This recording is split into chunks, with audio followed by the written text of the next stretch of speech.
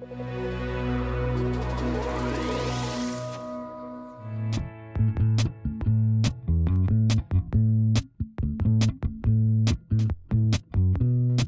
Delighted to have Jerry Kaplan uh, with us tonight. His, his book, Humans Need Not Apply, Candid Call to Arms, is a, is a phrase that, that Jerry's used for, uh, for bold ideas to ease the transition through the next industrial revolution. Jerry uh, is uh, widely known as, a, as an entrepreneur, an innovator, uh, an author, uh, and a futurist. He, he founded a, a number of um, Silicon Valley startups. so this is his second, if not his third career. Jerry Kaplan. What we're doing in artificial intelligence is we're building increasingly intelligent uh, machines. And it, these are becoming more and more intelligent, and some, uh, sometime soon they might surpass human capabilities. And when they do that, they're going to start to steal our jobs and uh, possibly even escape human control. Uh, and then they're going to take over the world. Now, I'm going to present the case today that that narrative is uh, basically very misguided and, in fact, counterproductive for solving the kinds of social problems that the field is actually going to create. Consider how machines and people learn. Now, you can teach a computer to recognize a cat by showing it a million images. Or you can simply point one out to a three-year-old. That's a cat. And it gets the same job done. Obviously, humans and machines do not learn in the sense of these programs the same way. So what is artificial intelligence really? Can't they solve all kinds of complex reasoning and perception problems? Well, the answer is sure. They can perform tasks that humans solve using intelligence. But that doesn't mean that the machines themselves are intelligent. It merely means that many tasks that we thought required general intelligence uh, are in fact subject to solution by other more mechanical means. These autonomous vehicles, they drive cars. They don't do other things robots really don't have any independent goals and desires. A robot that's designed to wash and fold laundry, it might be plenty sophisticated, but it's not going to wake up one day and say, oh my God, what a fool I've been. I really want to play the great concert halls of Austria. That's not what we're doing. Now, I want to talk about the consequences of taking this more mundane view of what artificial intelligence is. It's certainly true that artificial intelligence is going to have a serious impact on labor markets and on employment, but perhaps not exactly in the way that you expect. Machines and computers don't actually perform jobs, they automate tasks.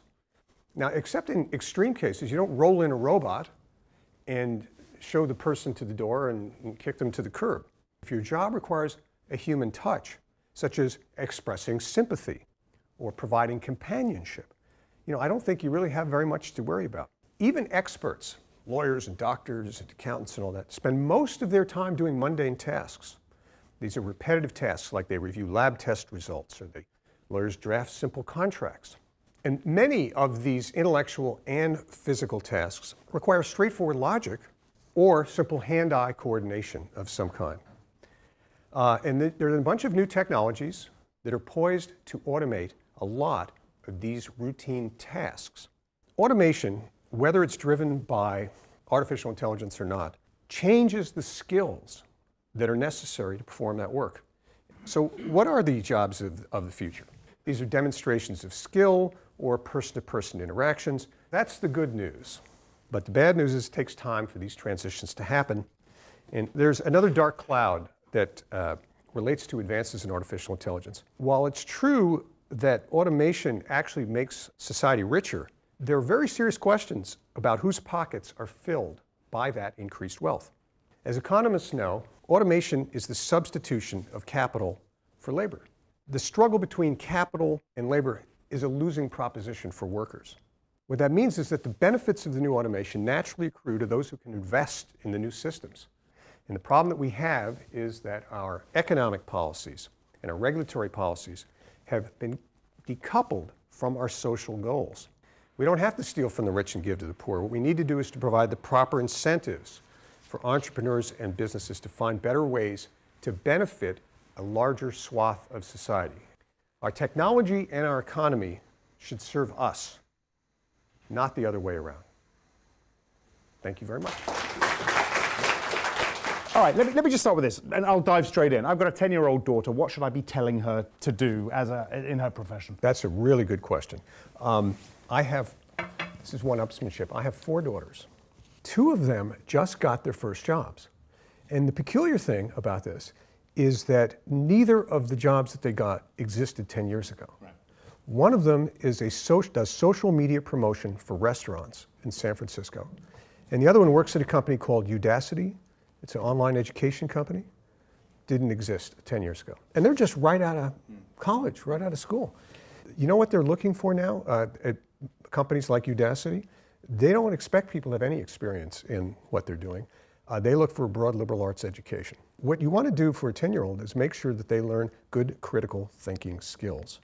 And then you, we have to stop thinking about education is you go along, you get some general education, then you learn a profession, yep. and you're stuck in that profession for the rest of your life. Yep. We have to begin to think of education as an ongoing process of retraining.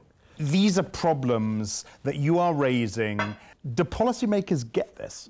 Uh, generally, I think the answer is no. Uh, the only uh, light on the horizon in this, at least in the US, is that both major political parties understand now that income inequality and wealth inequality is a real problem.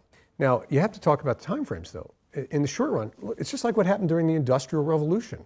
Oh, great, now we have machines that can weave, and you know the weavers are all starving, and uh, it's the same thing. It's just a modern version of that, that same process. Uh, the question is, do we want to change the policies uh, to make a more humane path to a, to a better future? Fascinating things. So thank you very much indeed. Thank you so uh, much. Jerry Kaplan, everyone. Thank you.